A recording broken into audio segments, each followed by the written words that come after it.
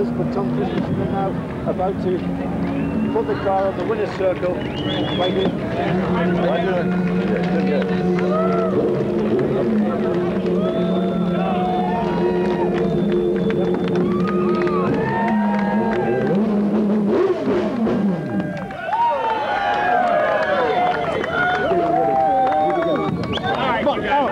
Get back away from that car. Okay, don't worry. Tom Kristensen's still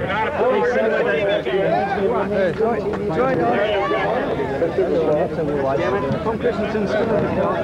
You belong? You got credentials for this? No, I'm going to throw you out. You guys We don't need this man. Don't race over that way. Not doing any good out here. Hey, get off the car! Hey, I'm doing radio. I need to be inside. I'm not pushing you. Hey, what are you doing, man? Calm down. Back away from the car.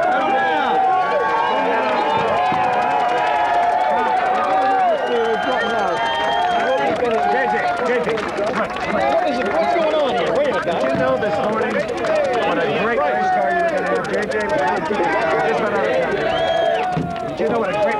be? JJ, JJ. All right, come to me, Lee. Hold on, hold on. Not yet, not yet. Quite a crowd building now in the pit lane and quite an atmosphere building. Everyone absolutely ecstatic. All right, I can give you a little report, and then I'll try to get a driver in a second. Come to me. You cue me though. I'll give you a little report, but come to me, and then I'll uh, then I'll get a driver after that. Hey. Get him off the car. You got to cue me. Come on, guys. Let's go. Okay, go. Get that. All right. Go with me.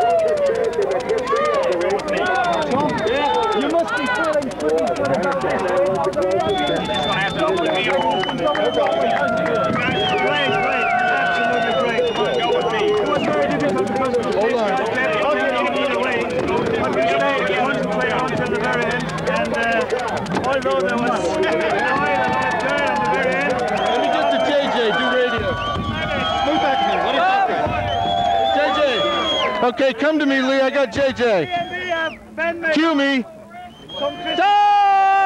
All right, in victory circle here with JJ Lehto on the BMW. JJ, it's been since 1975 for 78 for the BMW.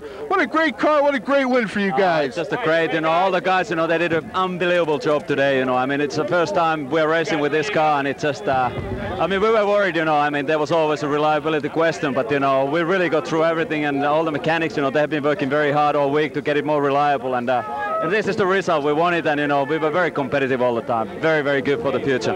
Well, we talked to you a few minutes ago down in your pit, and how about that? You guys won the 12 hours of Sebring. Oh, it's great, you know. I just said to the guys that now we have another 12 hours, you know, to win Le Mans, you know, so we're, we're only halfway at the moment, you know. All right, thanks for being with us. Thank you. Lee, that's a, that's the report from Victory Circle. This was a struggle to get this interview, but that's been it, and it's been a great day here.